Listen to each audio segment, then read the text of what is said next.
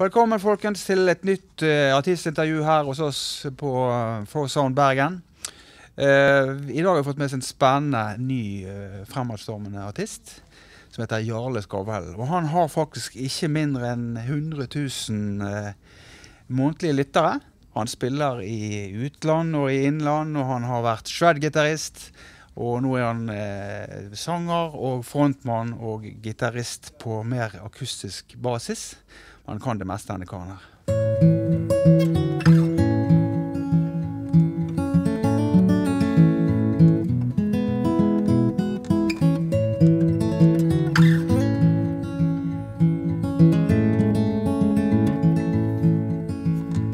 The conversation flows better with a vintage wine. In a paper cup by our side. Velkommen, Jarle Skarvell. Takk, Veldig takk. hyggelig at du kunne ta turen ned i kjelleren her til oss. Ja, veldig kjekt. Veldig koselig. Um, du har nå kommet ut med en ny plate. Og, Ja, eh, eller det kommer snart. Ja, Ja. nærmer seg. Eh, du har sluppet en singel. Ja. Da må du fortelle hva den heter. Den heter Young Like The Morning Dew. Oh, yeah. Den er faktisk ikke med på platen. Det er en liten sånn, uh, Bonus. en liten sånn bonus uh, collaboration med en, en artist som heter Kieran Lavery. Så kult. Ja, en liten sånn Så ekstralåt. og den, den platen er, er gjort i Sjølvaste statene? Sjølvaste statene. I Portland har var jo spilt inn den for eh, et års tid siden.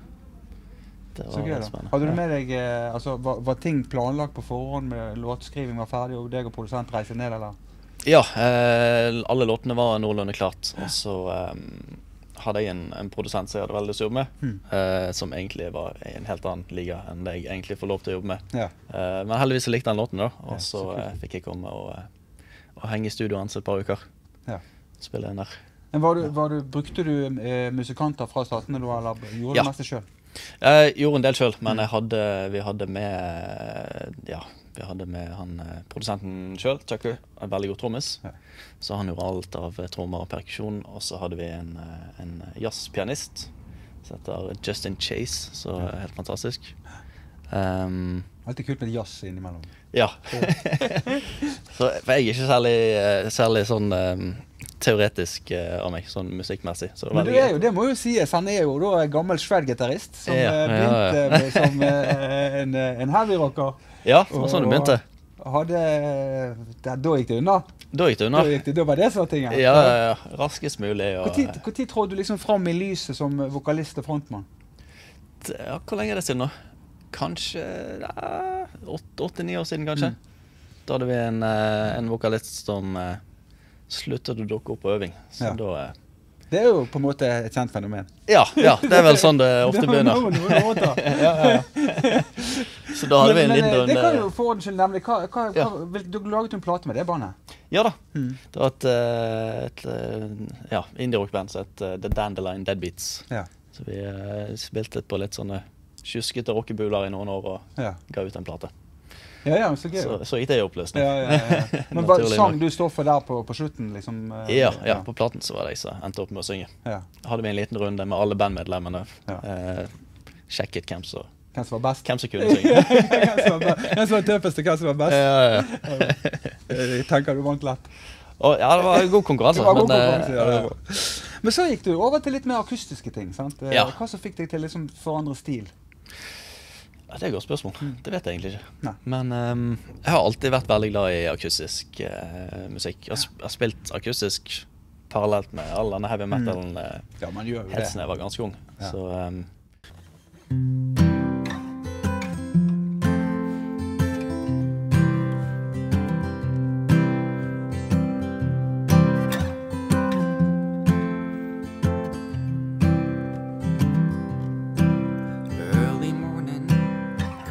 keys hanging around my neck. Lunch is packed for later, the FM dial is set. Illuminated by the red and white dashboard lights. Kiss my babe goodbye, tell her I'll be home by five. I'll be home by 5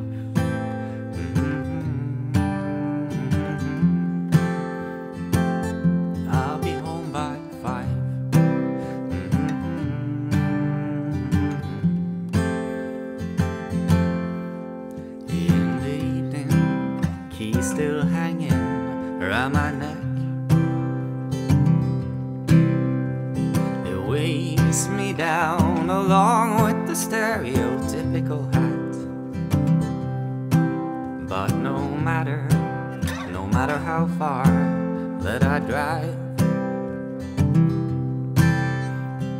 Whoa, whoa, whoa, baby, I'll be home by five. I'll be home by 5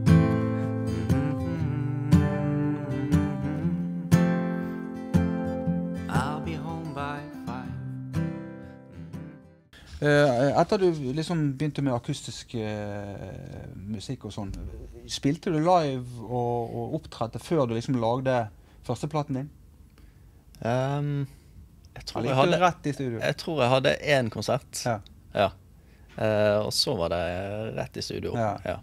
Men ble du da fanget opp av uh, noen som hjalp deg litt? sant? Jeg mener jeg husker at Ja, ja, ja. Jeg, uh, jeg slengte bare noe greier ut på, på SoundCloud. Ehm, bare for moro skyld. Ja. om vi fikk noe respons på det.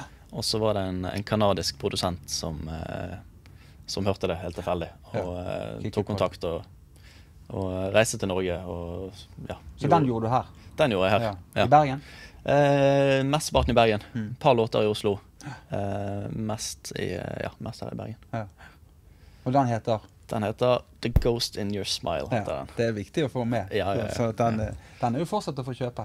Ja da, Ja, ja. det er den. Både på, på alle plattformer. Både Ja. Det er viktig å få med. Ja, ja, ja. Eh, hadde du da eh, en tanke for, for hvordan veien skulle gå videre, eller bare lagde du platen og begynte å reise? For du, du, du fikk jo jobbe utenlands, og du fikk jobbe rundt Ja, omkring i landet her, og ble, ble liksom fort tatt opp i det Mm. gode selskap. Det gikk veldig kjapt der. Mm. Um, hvis jeg hadde ehm, visst at det skulle gå sånn som eh, det gikk, så hadde jeg sikkert ikke valgt et norsk artistnavn. For det er jo Det er sånn, ja. håpløst når du spiller i Tyskland Ja, og ja. skal presentere deg som eh, Jarle Skavhellen. Da begynner de bare å le. Men eh, ja, nei, jeg hadde ingen planer. Det var, jeg lot han produsenten styre på akkurat som han ville. Mm. Um, ja, vi spilte, spilte inn et par uker, og så eh, Første låten eh, jeg ga ut derfra, bare eksploderte på, på Spotify. Ja. Så tok det veldig av derfra, da. Ja, for du lagde en video og Ja. Som... Var ute i uh, uh, Hva det heter Ute i Fana. Ute i skogen der. Uh, eh, Arboreet, er det? Aboré, ja. Ja. Ja, ja. Ja. Ja. Der var vi spilt inn uh, ja, midt på natten. Noe, fikk lagt inn noen sånne spøkelser i bakgrunnen. Og, Ja, ja, ja, Den var kul, den. Ja, ja, ja.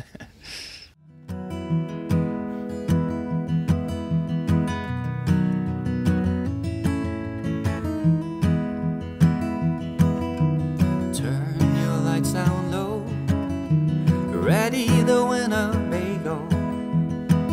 I'm coming and knocking on your door. Put up the novelty sign when the caravans are rocking. Don't be coming and knocking on our door. Underneath the horns of a crescent moon. Dollars, you make me swoon. The air is turned sweet. This is the highlight of my week. Singing along to Copper Line with you.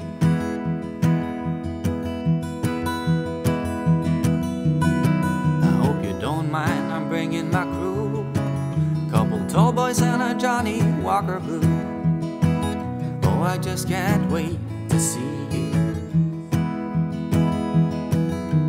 Whistling and feeling free, and my pockets jingle in harmony. Friday night, and I just got paid. Underneath the horns of a crescent moon, for only $20.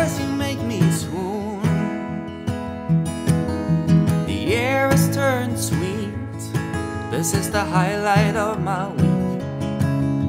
Singing along to Copper Line with you. Singing along to Copper Line with you. Hva gjør du nå da, Jarle? Når det er liksom Det er vel avlyst i boken og Nå er det mye avlyst. Ja. Det er det. Vi klarte oss å få en liten konsert forrige måned, Mm. men eh, ja, det var den ene uken det ikke var eh, stengt. Så, Ja, vi var heldige der. Men nå er det Jobbes mot release på, på platen. Ja. ja. Også, Hva regner du med at eh, den kommer? den kommer 8. januar, Ja. så nå sitter jeg og venter på vinylene. De skulle komme på julaften, faktisk, Ah, så det blir spennende. Da kan vi bare bestille julepresang. Da er det bare å forhåndsbestille. Kommer i posten etter jul. Ja, ja. Masse av de andre varene. Ja. Men Når du reiser rundt og spiller, eh, har du med deg folk, eller er det Martin-gitaren og deg og Det blir ofte meg og Martin-gitaren, Ja. i hvert fall i utlandet. Mm. Eh, det blir jo dyrt å reise med full penn. Ja. men Det er eh, dyrt å reise med full penn. og ja. Det er det. det blir det.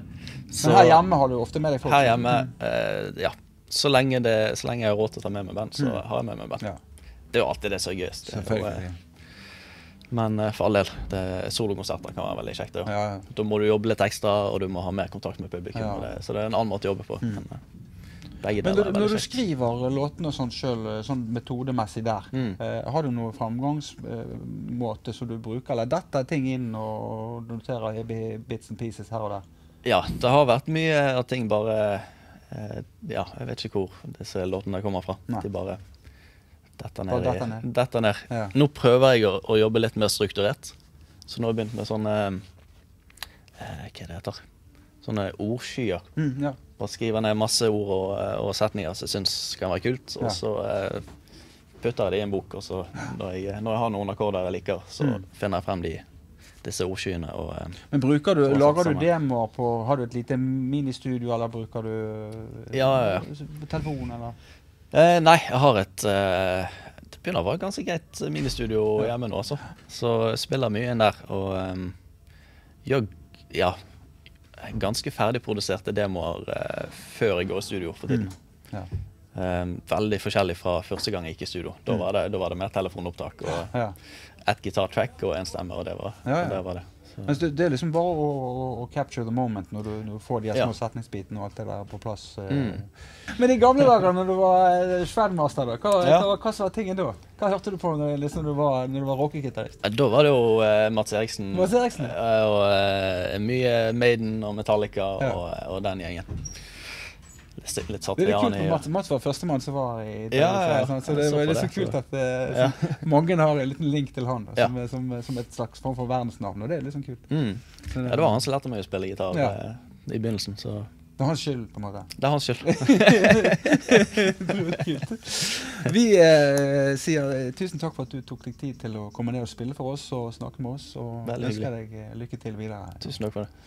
Gratulerer med ny plate. Jo, takk, takk.